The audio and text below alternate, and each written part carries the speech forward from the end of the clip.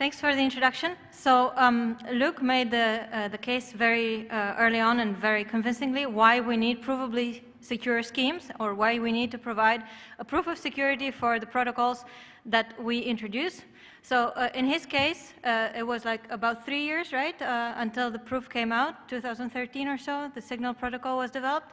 In this case, we're talking about a proof that took 26 years. So, um, yeah, moving on. So um, I, am not going to go very well into authenticated key exchange because the previous speakers already did a great uh, job of it. So uh, briefly, what we want is secure communication between two parties. And we usually typically use authenticated key exchange mechanisms. So um, those are protocols that look a bit like this between Alice and Bob or a client and a server. So um, usually uh, authenticated key exchange schemes and um, secure messaging protocols.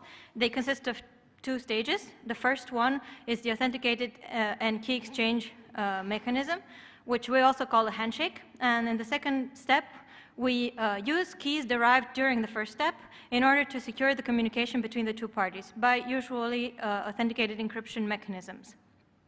So in this talk, I'm going to focus only on the first part. Um, so we, we already saw that typically um, when we define security in authenticated key exchange, we talk about network attackers, which are able to stop messages, um, um, interact with uh, parties in multiple sessions. They can corrupt long-term secrets of uh, parties, and they can reveal computed session keys. This is the typical uh, Bellare-Rogaway type of um, methodology of uh, defining uh, security for uh, AKE. We're also talking about forward secrecy or perfect forward secrecy, which is to say, even if the key has been the long-term key of a party has been compromised, the security of past sessions is not compromised. So um, in this talk, we're going to talk about a different kind of authenticated key exchange protocol. Namely, this security model and typical analysis of uh, such security models, uh, uh, such uh, security protocols, they only depend on the fact that you have two parties which you typically both trust uh, to some degree. So you can secure the, the, the, the key if the two parties are honest. But in this talk, we're going to talk about a key exchange protocol, which is executed by two parties, but out of which one of them is untrusted or only semi-trusted. So this is the case of the AKA protocol, which is used in 3G and 4G mobile networks. So the AKA protocol is, was developed in a bit of a stranger context than, um, say, people who are familiar with TLS know. Uh, in the case of mobile communications, you don't just have two actors, a client and the server you have typically three actors or uh, three main uh, parties. The first of, of which is the client or the user, the mobile user. And then there are two parties to which this uh, client gets affiliated at different times. So a client usually uh, registers with a mobile operator. So this can be Orange if you're in France, or uh, it can be uh, Vodafone, or it can be any other mobile operator. Um, the client is said to trust its operator. Now, I don't know if we physically trust our operators, but at least our phones do. Um, so then, um, then there's also the third party. Whenever the client actually requires mobile services, such as, I don't know, SMS privileges or uh, talk or internet access, um, the, the, the client has to establish a secure channel to receive those services, with a third entity. And this entity, which I called here a server, um, is just so that we, we have some sort of backward compatibility with TLS uh, people. Um, these servers are called actually mobile management entities, MMEs and um, they are affiliated either with the client's own operator in the domestic network, or, and this is important, in the case of roaming, the server is affi affiliated with another operator, possibly an operator that the client and the client's operators do not fully trust. So usually um, the, the server and the operator may be assumed to communicate over a, a secure channel, which is mutually authenticated, hence the two padlocks. Um, but the client and the server, they communicate over an insecure channel, and it's that channel which the AKA protocol aims to secure. So um, to understand how this works, um, there's in mobile communications, there's a three-tier trust. Um, the operator is the most trusted entity, apparently, so it is trusted to know everything about the stateful protocol, including long-term secret data of client and operator uh, together.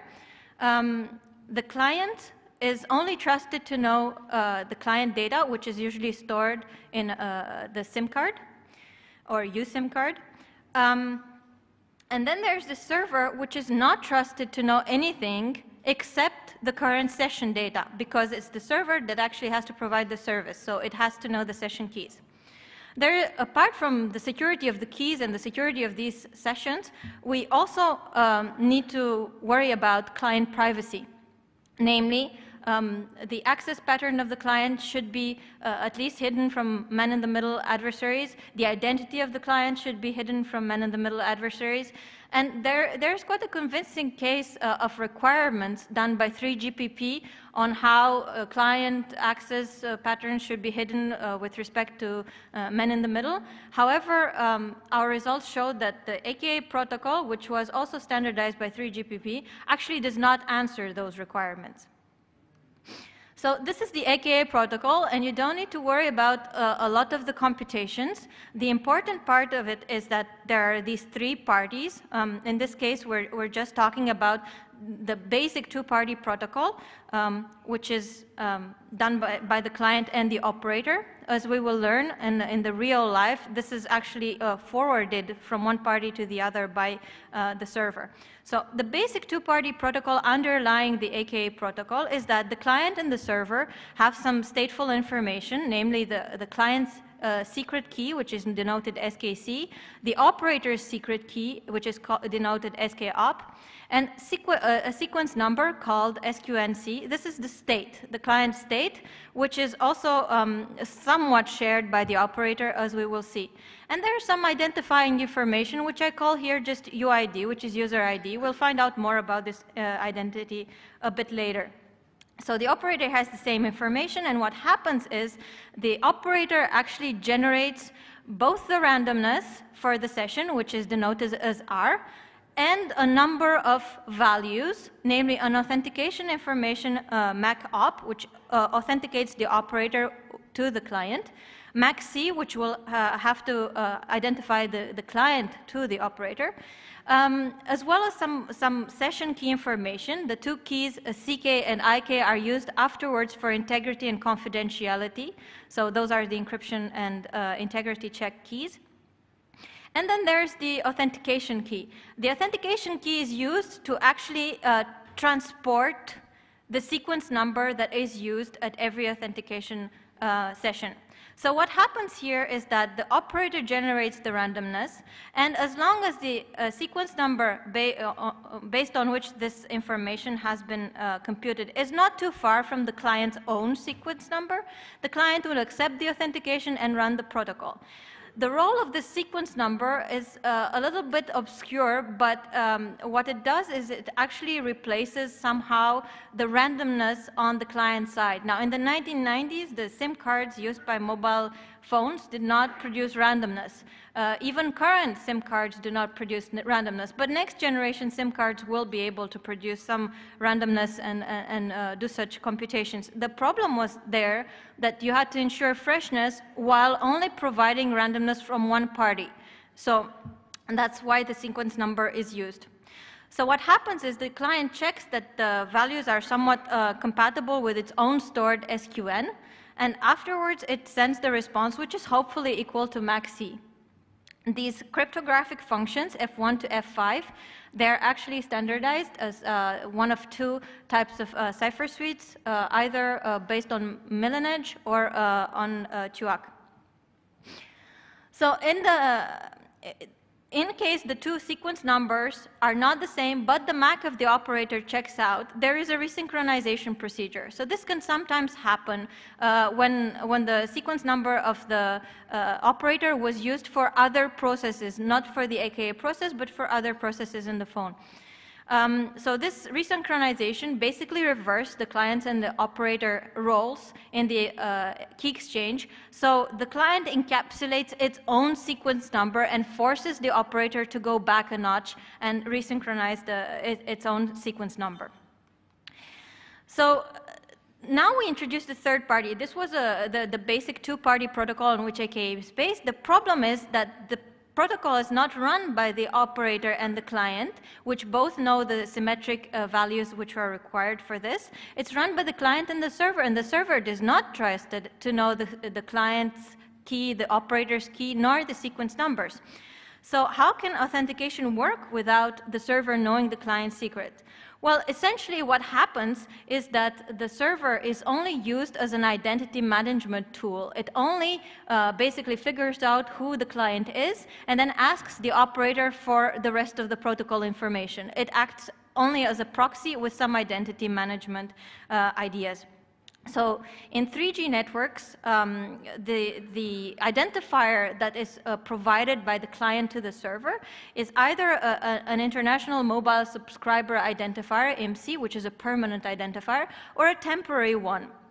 Now, the temporary identifier is unique, is designed to be unique per server, but two servers can assign the same value by some accident to the same um, to the same client. And in order to make sure that these are unique, you also send uh, your location data with it. So the location data tells uh, the operator which server has uh, issued the TMSI, the temporary identifier. And so you can, uh, you can find a unique uh, client to which this, uh, this temporary identifier was issued. This is important for the privacy. For, for 4G, you replace this by a different kind of uh, identifier, which does not um, differ so very much in its structure. It also sends some location data and some, um, some identifier data. So the three-party protocol looks like this. So um, you, you start with, a, with a, uh, an identification procedure between the client and the server, whose only goal is for the server to identify the permanent identifier of the, um, of the client and then figure out um, uh, which uh, operator to ask for information. In the second step, um, the, the server will ask for um, inform information for a batch of authentication vectors. These authentication vectors basically provide what you saw a few slides ago, which is all the results of the F1 to the F5 functions, uh, the encapsulation of the sequence number, practically everything. Um, and it does this in, in batches. So um, the operator will generate a number of random numbers and update the SQN at every, uh, every time before it sends the, the authentication vectors. Then there's the challenge response phase. And finally, there's a TMSI reallocation. So here, I, I sort of put it uh, between uh, mutually authenticated uh, padlocks, but uh, it's, it's an insecure, actually, it's an insecure transmission. It's encrypted, but it's not authenticated, which is to say anybody can send it. So uh, there are some security weaknesses of the protocol that I want to highlight. So first of all, you have a weird kind of offline re uh, relay uh, attack that works for server impersonation. Now, this is not a disastrous attack, but it shows that there is a weakness in the protocol. Namely, um, the, the former part of the protocol, which is the identification phase, uh, can, uh, can be um, you can spot that it's the same client and you can replay it. So basically what you do as an attacker, you uh, look at the first two messages, you let them pass, and for the third one, you, you just stop it. So the next time the client actually um, is, uh, is going to forward its, uh, its identifier, which is going to be the same between the two, notion, uh, the two sessions, so you're going to see it. Uh, you, you can just replay the authentication challenge and be identified by the client as the server. Of course, you won't be able to, to compute the key, so it's just uh, it, it's, a problem with authentication. Uh, but uh, yes, so uh, it's still a problem. So there's some more problems with corruptions. Um, namely, the, their, Zhang and Fang showed that uh, corrupting servers can allow a, an, an, attacker to reuse authentication vectors and impersonate uh, clients uh, sorry, impersonate server to clients, which is to say that if you have a weak uh, partner, a weak, uh, um, a, a, weak roaming partner, um, that partner uh, can, can have its, uh, its sessions corrupted, and that information can be used later to extract information from the client. What we showed that AKA guarantees is some client impersonation security, some server impersonation security, and some security of the keys, but where it fails is that um, it, it does not, it is not robust with respect to uh, server corruptions. And there's also this uh, problem with the offline relays. Now, um, there's also uh, the point of privacy here. So um, um, 3GPP requires three notions uh, of uh, uh, privacy, identity hiding, location hiding, and untraceability. Strobel in 2007 showed a parallelizable IMSI catcher attack, which shows that basically with just very little effort, you can always find the permanent identifier of every single user in the whole network. All you have to do is re-randomize whatever the, the temporary identifier uh, uh, comes out to be from the client. Because in that case, the backup alternative for AKA is, please, can you give us your permanent identifier? So you can do this for all the clients and all the network at all the time. Now, I'm not going to go over everything because I'm running short on time. The point is that even if you fix this, as Van den Broek did uh, at CCS, uh, I think uh, two years ago, you, you're not going to, to solve this. Uh, in, in addition, you have a problem with resynchronization, namely, um, uh, you, can, you can trace a, a desynchronized client from a non-desynchronized client, and you can force this desynchronization to happen. So um, there's also a third one by TMSI reallocation, but the whole point is there's no privacy for the AKA protocol. Our counter proposals do fix it, both the security and the privacy. The privacy is more involved, and it features um, a more complex uh, type of encryption for the uh, TMSI uh, send sending. But the whole point of this is, is this sufficient for 5G networks? There is the advent uh, of the 5G, uh, uh, the fifth generation mobile networks, and uh, th those will also need the AKA protocol. So there are some, some more important AKA problems than just security and privacy in this uh, respect. Namely, we have some problems uh, with respect to end-to-end -end encryption. It does not exist because everything goes through the operator. So this is something that we should think about. How do we get end-to-end -end encryption for 5G networks? How do we get peer-to-peer -peer communication on 5G networks? This only works for, through the servers at the moment.